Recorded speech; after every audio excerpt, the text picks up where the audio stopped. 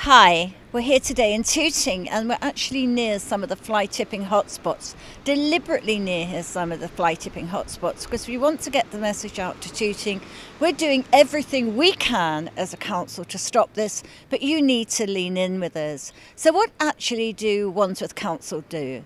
Well, you know yourselves that if things are dumped in the streets, we do come along and clear, but that's a default action. Those things should not be in the streets anyway. We have lots of signage. We have films like this that try and educate about why it really doesn't work, why it's horrible for the people who live here to have fly tipping on their doorstep all the time. And I just did an interview with a local guy, and he said that his poor grandmother, who's 85, has to walk in the street flip flopping in and out of mattresses and bits and bobs of debris, and that's just not good enough. We also fine, and I think some of you know this, some of you object to it when you're fined, but for heaven's sake, if you're pushing things into the street, things that are making our environment look bad, I think we should be fining.